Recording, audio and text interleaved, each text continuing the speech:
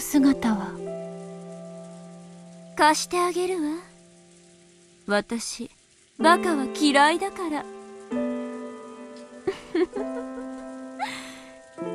仮の名としてクレルと名乗りなさい。それともベアトがいい？感謝します。みすぼらしい姿を晒さずに済みます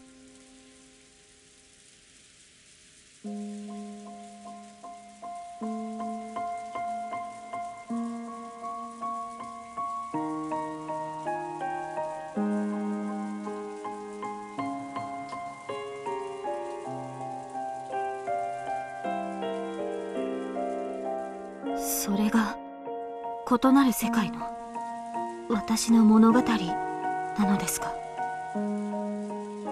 リオンこれが異なる世界のあなたにして我の物語。私が人間としてでなく魔女として生きる世界の物語。私も自分の人生にもしも想像することはありますしあなたの話す物語は私の想像を超えすぎている。それでももう一人のお前のたどった人生だ。だからって容易に受け入れられるものではありません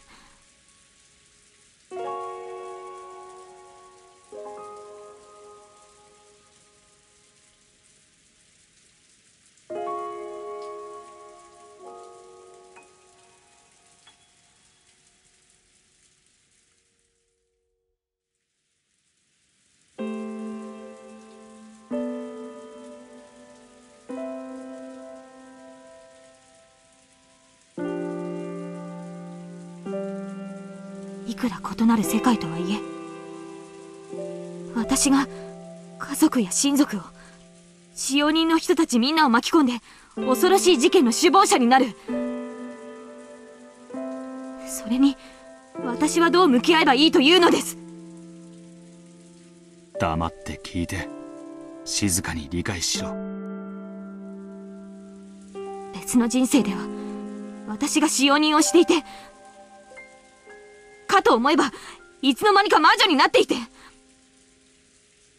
そしてやがては恐ろしい殺人事件を何度も繰り返す。それをどう理解しろと言うんです。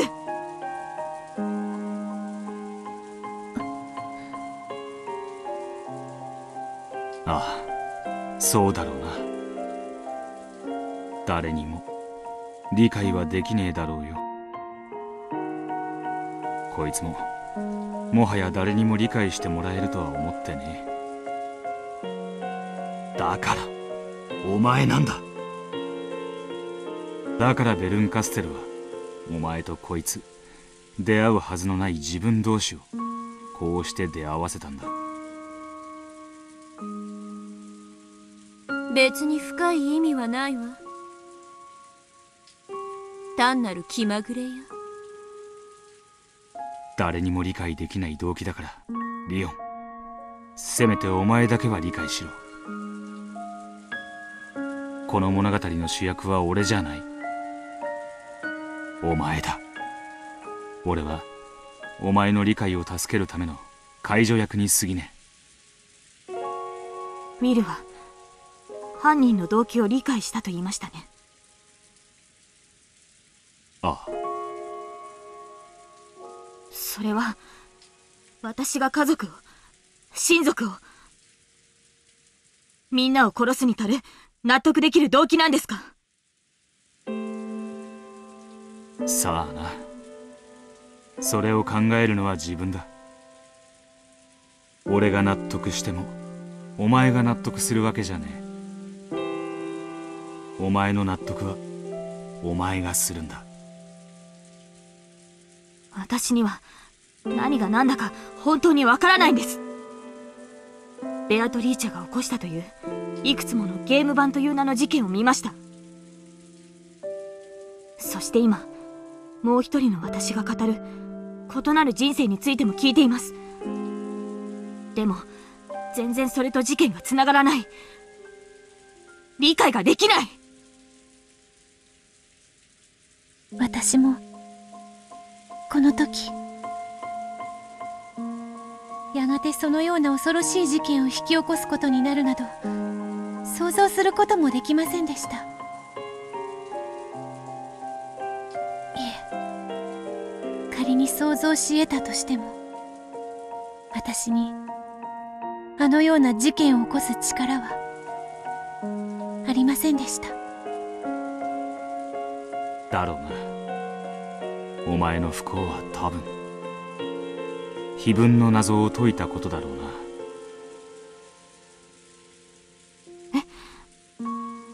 あのおじい様が出題したという隠し黄金の碑文ですか？事件ごとに異なる共犯者を得るシステム。導き出される推理は犯人が莫大な金を持っていたという可能性そして全てを黄金鏡に招き全ての恋を成就させるもう一つのシステム。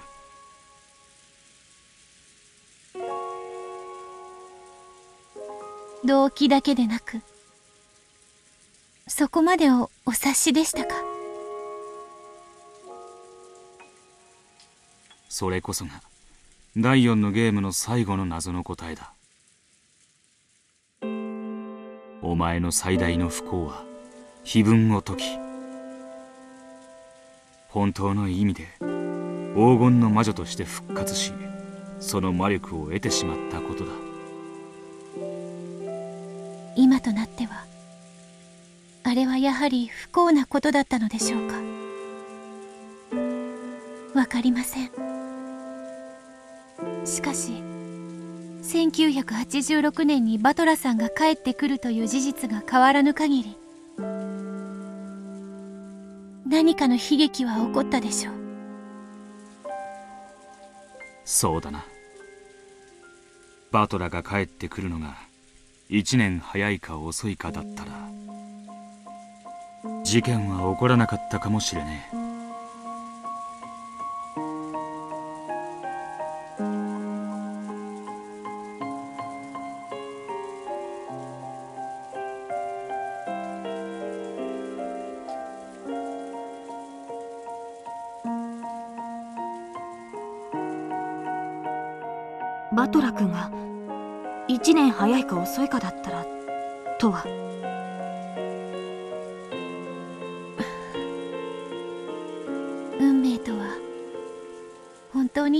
なものですね。私に魔女の人生を歩ませ碑文を解くことで本当の魔女となりそして6年を経て彼の帰りを知る。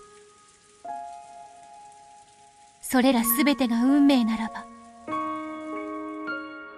これは私にとって必然であり逃れられなかった事件なのです。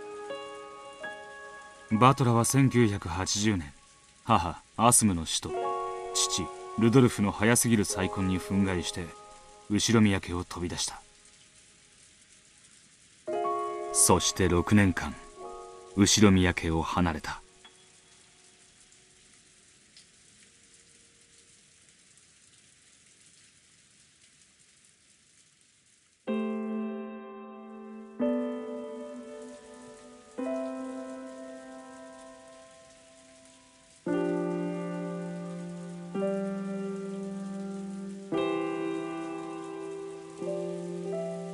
その不運がお前に事件の動機を生む。思いました。どうして？6年も経て。今さら帰ってくるのかと。そうだな。いっそ永遠に帰ってこない方がお前には良かったのかもしれない。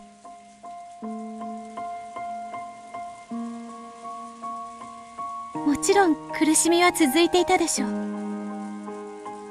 しかし大量殺人という許されざる犯罪に手を染めずには済んだかもしれません。バトラ君が後ろ宮家を去りそれがどんな動機になるというんですか？逆だな。逆？バトラが去ったから事件が起こるんじゃない。バトラが帰ってきたから事件が起こるんだ。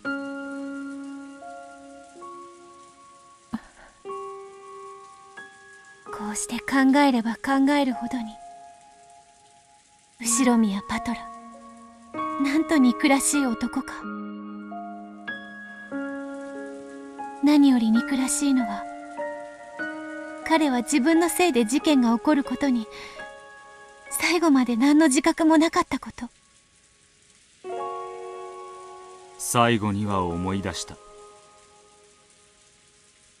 ただしお前が諦めて消えたよりずっと後のことだがな。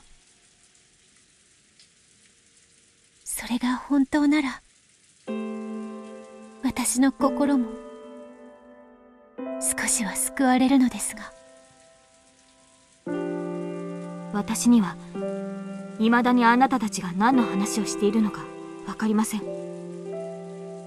ですが逃げずに聞こうと思います。知ろうと思います。一体あなたに何があって事件を決意するというのですか？そうだ。それが一番大事なんだ。後宮バトラが推理小説に対しホワイダニットを尊んだように。黄金の魔女の物語もゲームも謎も全てそこに秘められている。では引き続き語りましょう。1980年。私が事件を決意する。6年前から。第6章試される日。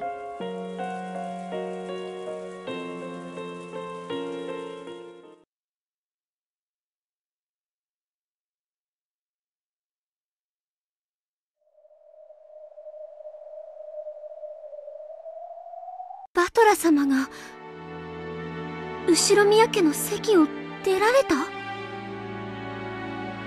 旦那様とルドルフ様がそう話してるのよ。もうびっくり。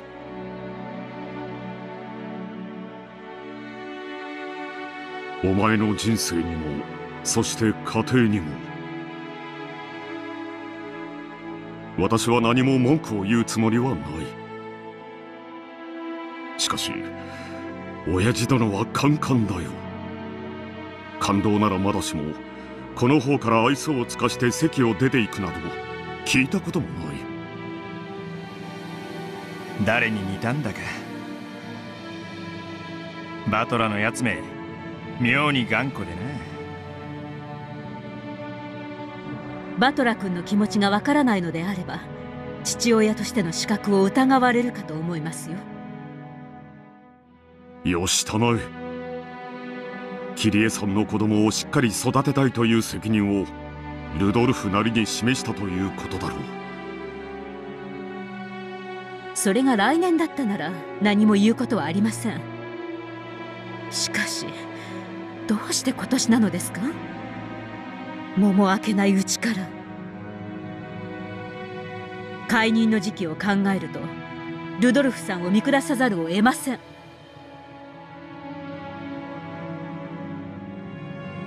まあそういじめないでくれ。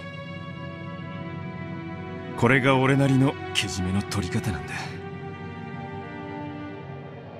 バトラ君が亡くなられたアスムさんに代わってあなたに抗議されている気持ち。本当によくわかります。もしここにいたなら一緒に肩を抱いて泣いてあげたい気持ちですよ。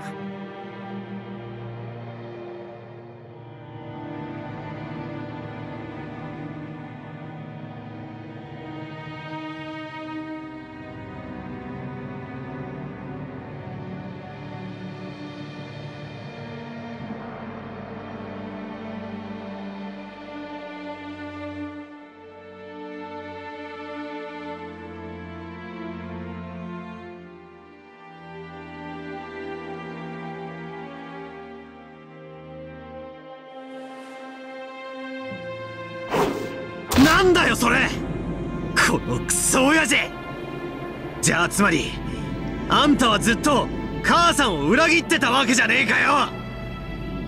そりゃ俺だって桐江様知ってるさ。あんたのビジネスパートナーでいつも事業の相談に乗ってくれる頼れる友人だって聞かされてたさ。それが男女の仲だったなんて今さら言われたって知ったことかよ。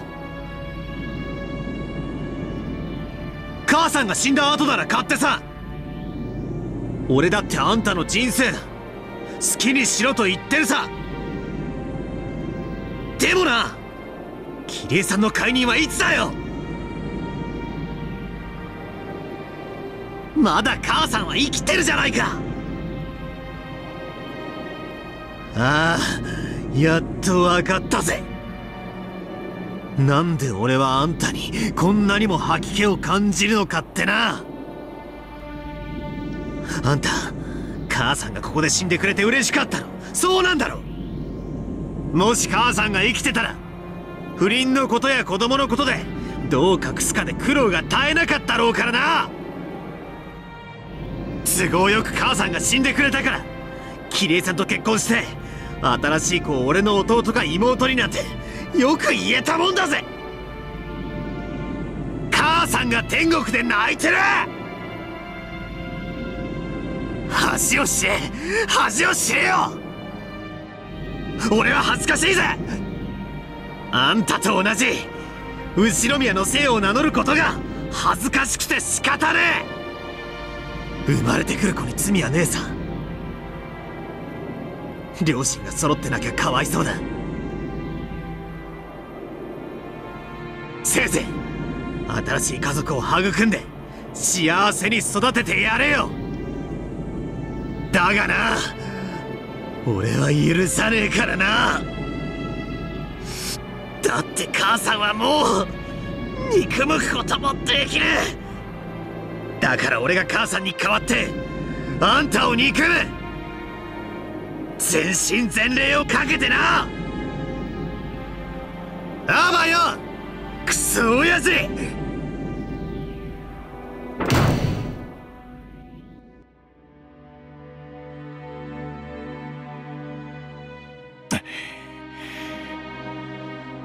もう十分だろう夏日。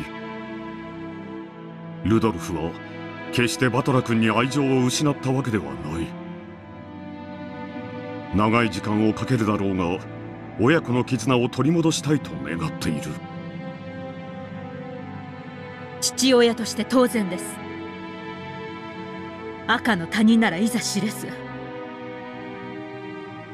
自分の血を分けた子供ならばそれが当然の責務です。いいさ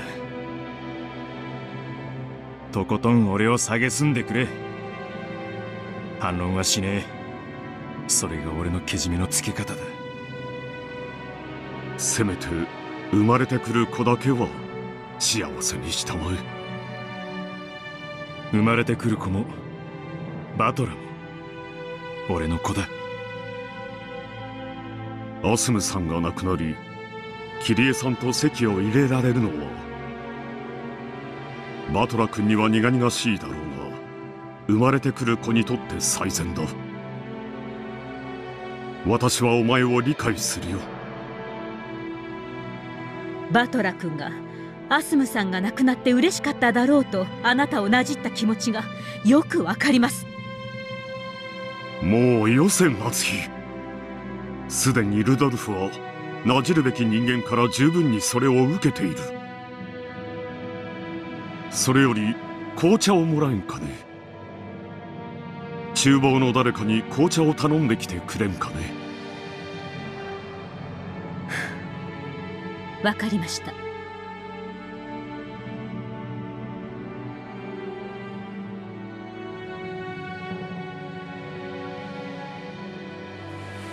アスムさんは気の毒だったが生まれてくる子を考えればこれは偶然のタイミングだったかもしれんね。まるでアスムがそれを知って自分から舞台を降りたかのようだ。俺がアスムを殺したのか。だとしたら俺はいつから殺してたんだろうな。アスムさんを大事に思う気持ちがまだあるなら何年かけてでもバトラ君と復縁したまえ。ああ分かってる。そしてキリエさんと生まれてくる子にも等しい愛情を注ぎなさい。アスムさんの十字架を背負いながらね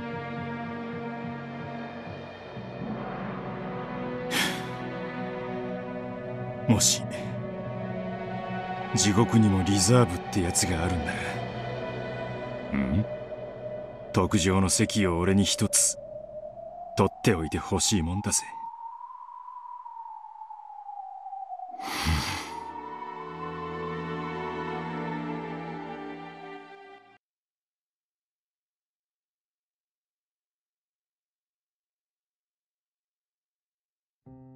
バトラさんもお気の毒にいつかきっと仲直りをしてくれると信じていますけど。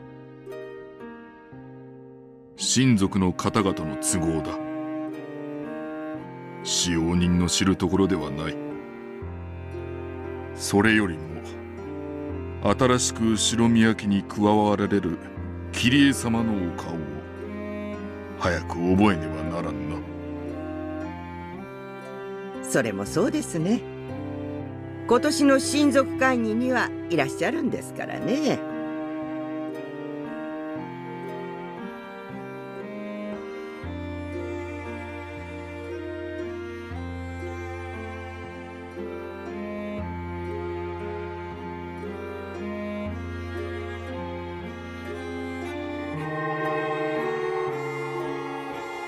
ならバトラは来ないってことじゃない？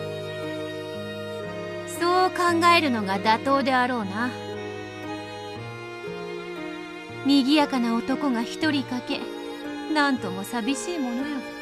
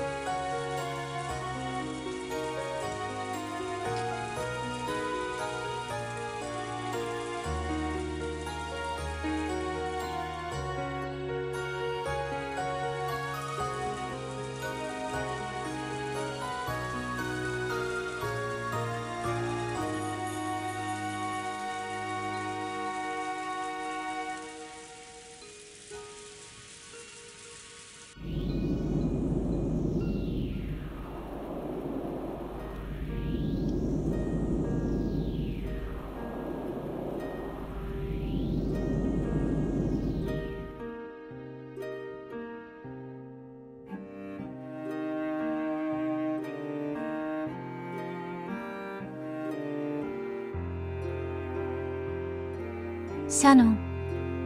シャノン。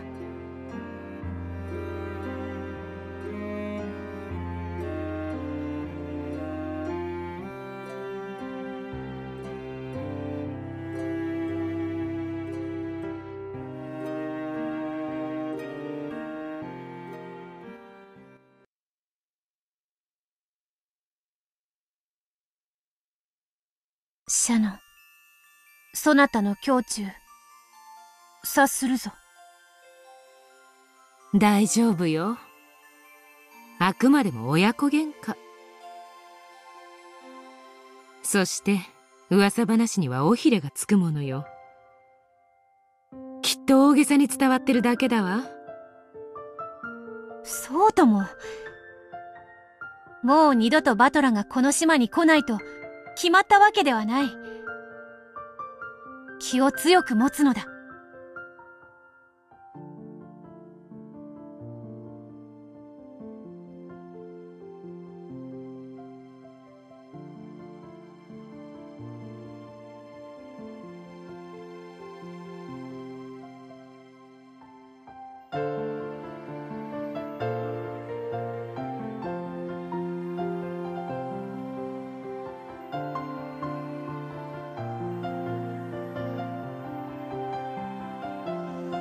噂好きの若い使用人たちが話を好き勝手に膨らませているに違いないぞ。席を抜けたなどと大げさな。きっとただの親子喧嘩に違いないぞ。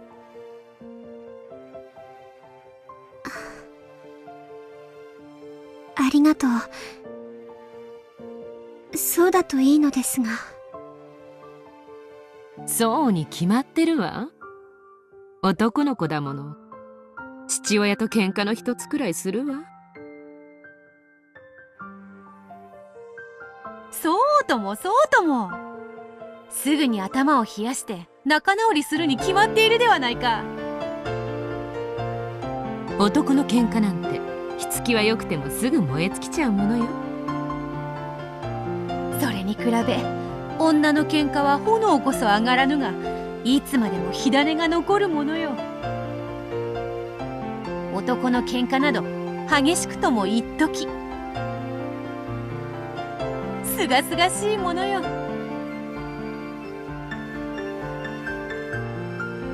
そうですね。バトラさんとルドルフ様早く仲直りするといいですね。するとも。バトラはいつも言っていたであろうがよく父親と喧嘩をすると。今回もそれらのうちの一つと変わらぬ母親の死と父親の再婚で動揺したに過ぎぬわ。祖父母の家へ行ってしまったそうだけどどうせ23日も頭を冷やせば元の鞘に収まるわ。ほらあれよ。プチ家出ってやつね。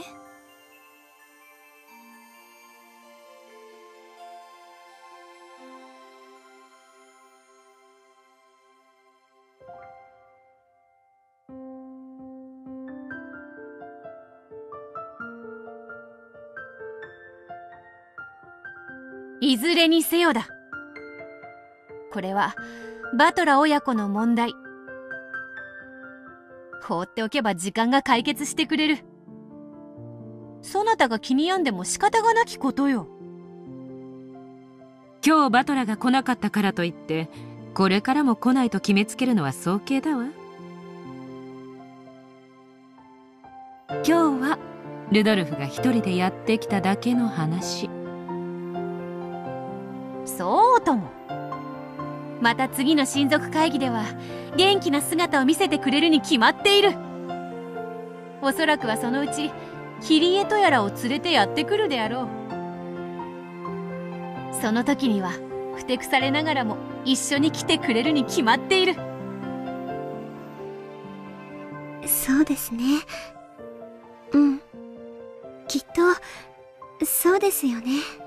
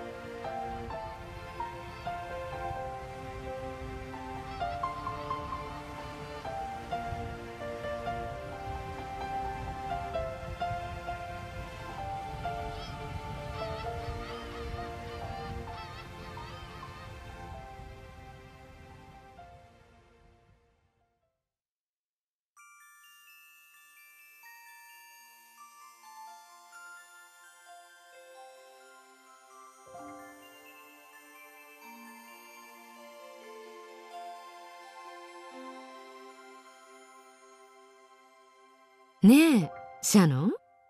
唐突に尋ねるけれどあなたがした1年後までの決意というのはこの島の使用人を辞めることを決めるだけの決意じゃないでしょう？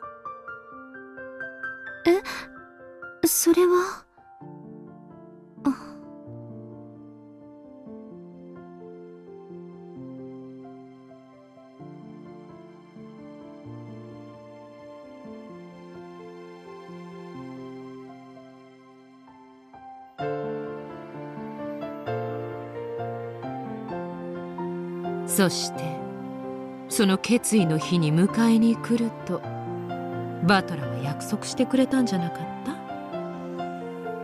た？それははい。わらわは言葉を選ばぬから言おう。それはつまりバトラと共に新しい人生を踏み出そうという決意ではないのか？バトラさんと新しい人生。そなたは決意の日にバトラが迎えに来てくれないかもしれないと恐れている。しかし決意の日はバトラが迎えに来てくれることだけを意味するのではないぞ。あなたがバトラとこれからの人生を共に歩む決意を示す日でもあるのよその決意はそなたが自らするものだ。バトラがただ来てくれるだけで成し得るものではないぞ。シャノンあなたにはもうこれからの人生を彼と歩む決意はあるの？それがまだないから次の親族会議の日に決心するなんて言ったんでしょバトラと人生を共に歩むとはどういうことなのか。そなたは真剣に考えたことはあるのか。それはその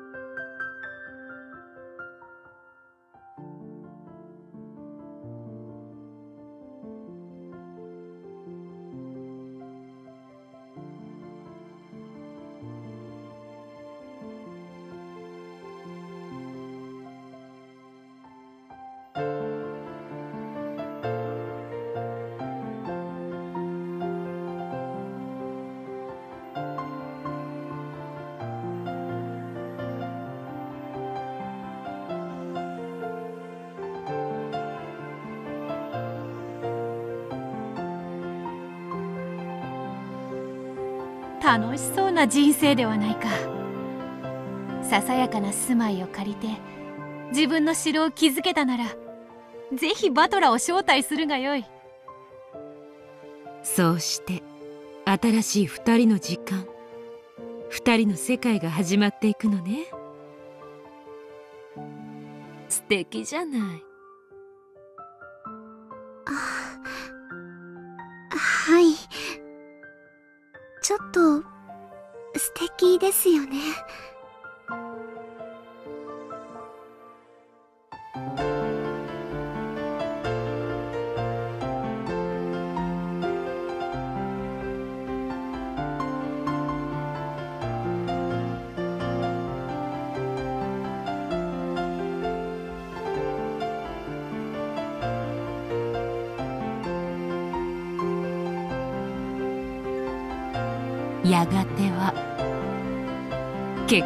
夢見ちゃってるわけでしょ？ほうほう。結婚前提とは最近の小娘は進んでおるわ。そそこまではそのあの。夢を否定しないで。未来を見据えぬ。目を閉じたままの第一歩に何の意味もないんだから惚れた男なら結婚しちゃったりしてと夢見ても何の罪もないぞ。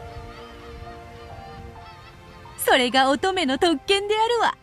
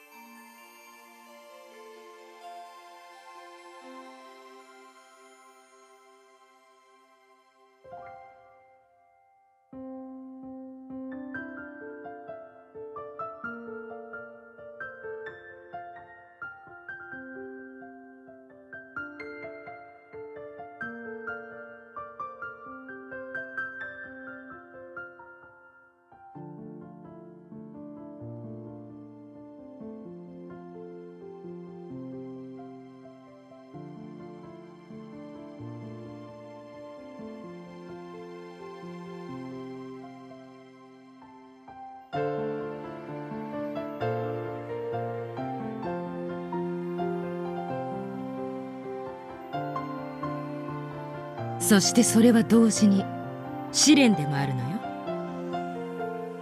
確かに。これは試練であるな。試練？どうしてですか？愚か者め。バトラは次の親族会議に迎えに来るとそなたに約束したではないか。白馬にまたがって迎えに来るってね。あはい。そなたはバトラがもう来ないと思っている。つまりそれはバトラの約束を信じないということではないのか？だからこれは試練なのよ。彼を信じて待つというあなたへの試練。試練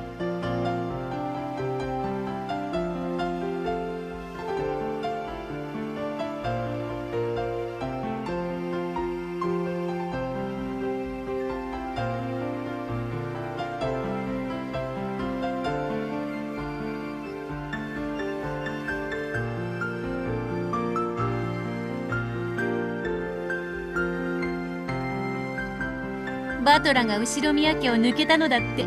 案外。そなたとの未来を見据えてのことなのかもしれぬぞ。あらどうして？二人で暮らし将来婚姻のちぎりを交わすことまで見通したなら後ろ宮家の使用人であるシャノンと結ばれるには後ろ宮の姓が邪魔をすることもあるかもしれぬなるほど。使用人の娘と結ばれるなんてギャンギャンって言われることを見越して先に後ろ宮の姓を捨てたってわけね。どうだシャノン。これならば全てに筋は通るというもの。バトラが後ろ宮の名を捨てたのはそなたを考えてのことよ。ルドルフとの唐突な親子喧嘩はそれをもっともらしくする口実に違いあるまい。素敵な推理だわ。さすがリーチ。ェあどうだシャノン。落ち込むには値しないではないか。それどころかそなたと結ばれるためにバトラが先に決意を見せたようなものではないか。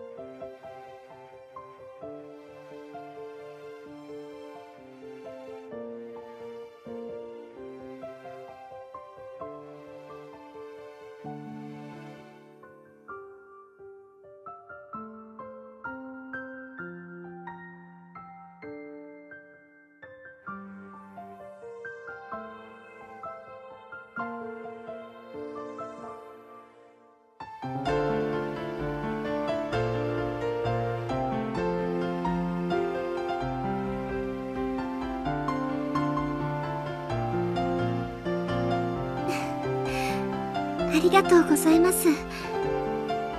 なんだか少し気分が楽になりました。ならばよかった。そなたが悲しみで枕を濡らすのを見るのは耐えられんのでな。私の夢の中にまでやってきて励ましてくれて本当にありがとう。うん。もうじき朝になるすべては夢。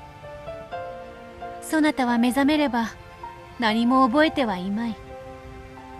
しかしそなたの心に静寂は戻る。はい。私は彼を信じて待つ。だから小さな噂話になんか耳を貸さないんです。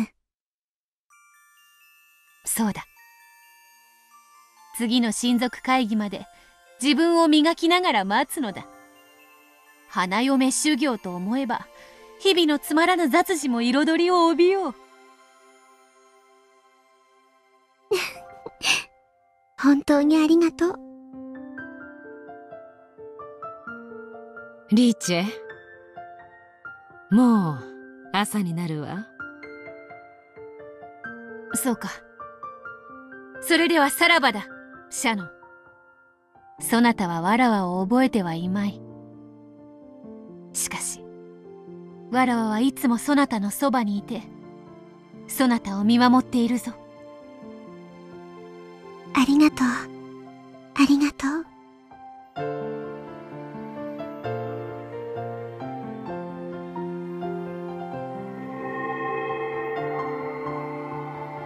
次の親族会議など瞬く間よのんびりと待つがよい。必ず。バトラは約束を守るのだから。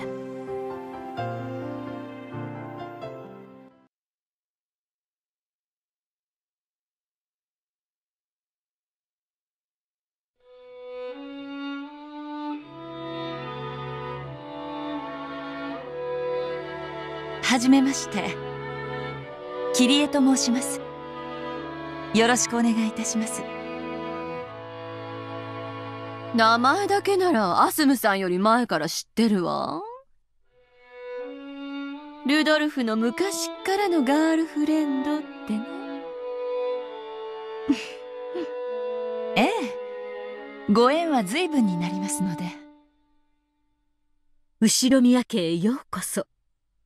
当家に早く馴染まれることを期待します私も早く慣れて夫をサポートできるようになろうと思います。それにしても可愛いお嬢ちゃんや。名前は何て言うんや？エンジェちゃんですって。可愛らしい名前ね。やはり仲直りはできなかったのかね。よりを戻すならこの機会と思ったんだがな親父に似て頑固なやつでなもうバトラ君は帰ってこないの？寂しくなるわ。男には家を飛び出す気概くらいあってもいいもんや。そういう男はなきっとビッグになって帰ってくるで。そう？バトラ君にとってもう今のお家はお家じゃないもの。帰る場所はもはやそこじゃないわ。よしたまえ。ルドルフの家の都合だ。私たちが詮索することではない。ありがとうクラウス兄さん。それは私たち家族の問題です。でもバトラ君がルドルフさんと一緒に暮らせる日が来るよう私も努力をするつもりです。だってエンジェのたった一人のお兄ちゃんなんですから。ああバトラめ意固地になっちまってて今は何を言っても逆効果だ。アスムのお父さんがちょっと短気な人でな焚きつけちまってるみたいでな大丈夫よ。きっと遠くないうちにルドルフさんの気持ちを理解してくれるわよ。わしらには応援しかできん。仮に帰ってこないにしてもはよう仲直りできるのを祈っとるで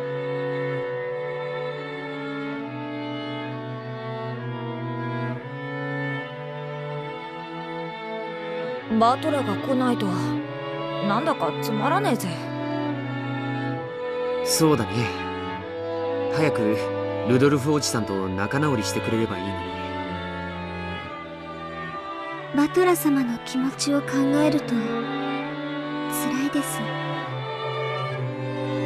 急に家族が変わっちまったようなもんだしな。家が居心地悪いってのもあるだろうぜ男にはいつか独り立ちしなければならない日もある。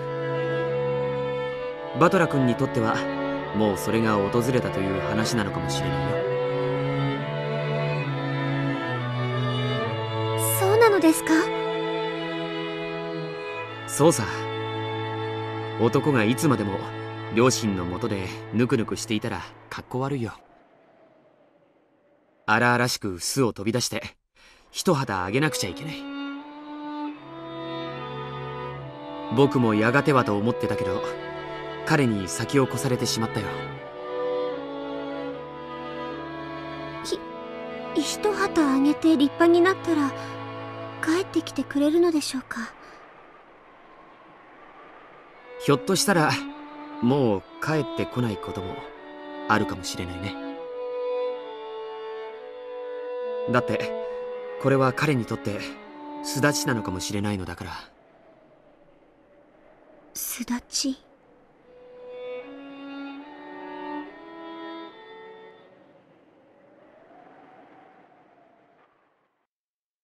バトラ。来なかったわね。ああなんということだ。わらわはシャノンにきっと来るからと何度も言ってしまったぞ。きっとシャノンはバトラが来なくて深く落ち込んでいるに違いないわらわがいい加減なことを言って希望を持たせてしまったから。親族会議の今日を張り合いに生きてきたようなもんだしね。彼女の気持ちを考えると心が痛むわ。ありがとうございます。私は大丈夫です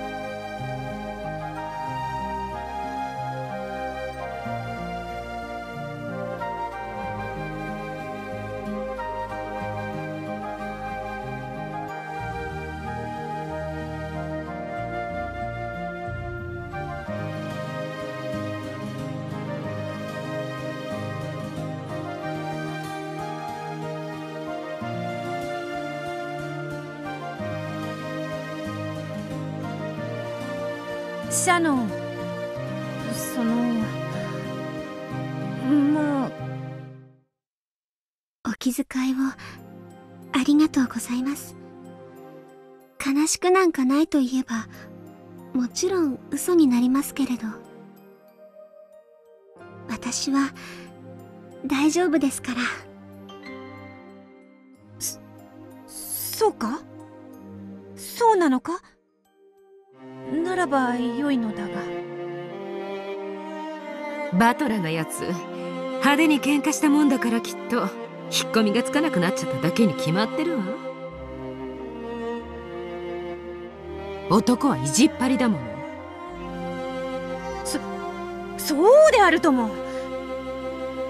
威勢のいいこと言って飛び出したものだから今さら引っ込みがつかなくなって意地になってしまっただけに違いあるまい。きっと来ればよかったと後悔しているはずだ。そうとも。そうであるとも。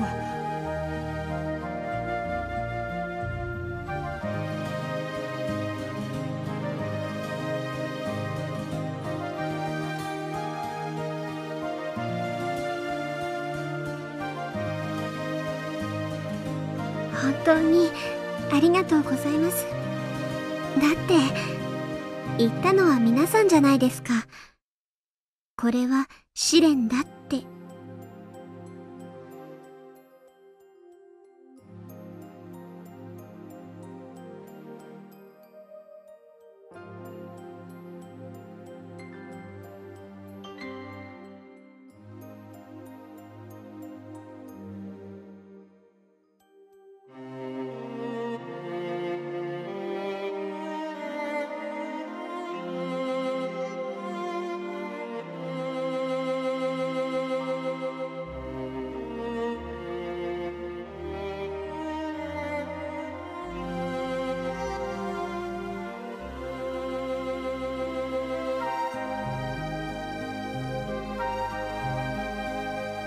ジョージ様が言ってました。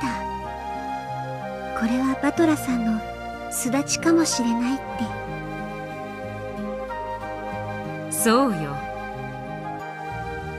これは後ろ宮の姓を抜け出て一人の男として羽ばたくという巣立ちなんだわ。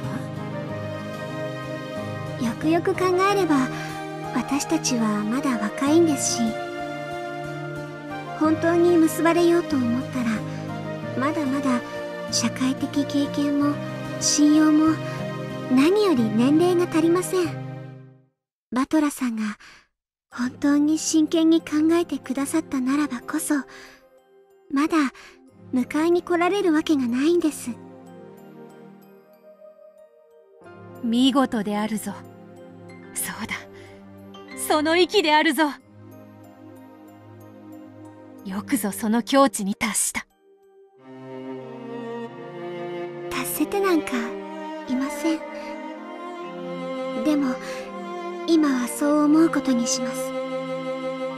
それが試練でバトラさんを信じるということなんですから。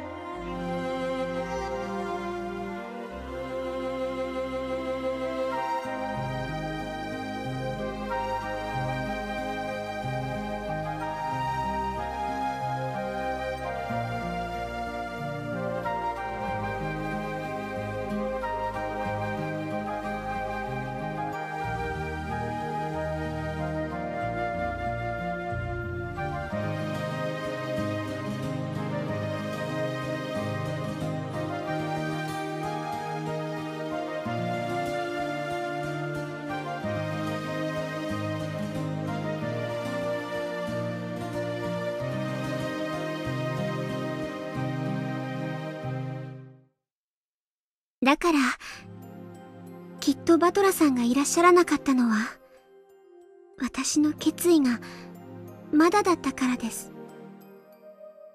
彼が来てくれるかをしっかりと信じることもできなかった私ではそれも当然ですね。おそらくバトラもそうであったに違いないぞ。そなたを迎えに行くだけの決意や覚悟がまだまだ足りなかったに違いない。神様は白状じゃないわ。二人の気持ちが本当に近づいた時必ず二人を引き合わせてくれるわ。織姫と彦星のようにな。今年の七夕はたまたま天気が悪かった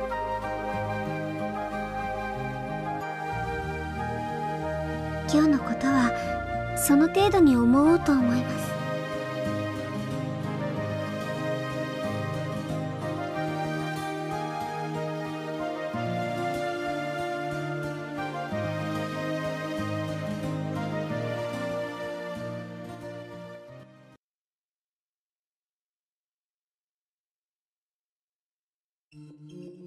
でもバトラ君が帰ってくるのは。6年後の話だ。だいぶ先の話になる。このままこんな辛い気持ちのまま6年も待ち続けるというのですか？来年こそは来年こそはと毎年待ちわびるのはそれはもう永遠に待ち続けるにも等しいものでした痛々しい話ね。あなたがしたと思ってる約束を当のバトラは全く意識していなかったようだし。バトラ君はルドルフおじさんに似てキザな言い回しを好むこともありました。そんな言い回しが誤解を与えたのかも。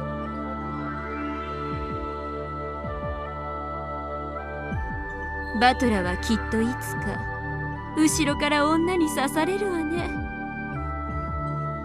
まあつまりこれはそういう物語なわけかしら。言葉は意味が宿れば人の人生を左右することだってある。軽率な言葉は人を殺せるかもしれねえ